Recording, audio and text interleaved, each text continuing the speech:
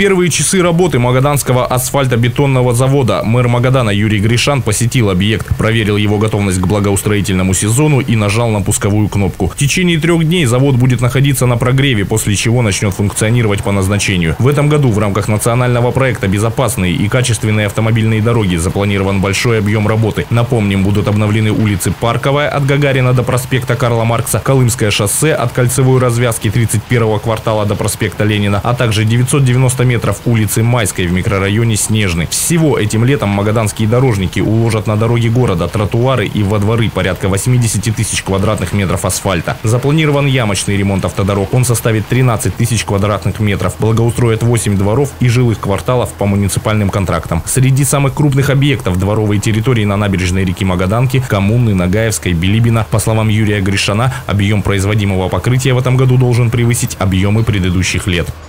У нас действительно уже наступили плюсовые температуры, и можно начинать э, заниматься благоустройством города. Э, конечно, все хотят видеть свои дворы отремонтированными, заасфальтированными. Э, в этом году нам предстоит очень большая работа. Мы должны выпустить на этом заводе 26 тысяч тонн асфальта. Это на 4 тысячи больше, чем было в прошлом году. Это и в рамках э, национального проекта «Безопасные и качественные автомобильные дороги». Три участка будем делать. Э, будем осваивать денежные средства по восьми дворовым территориям. Это за счет средств особой экономической зоны.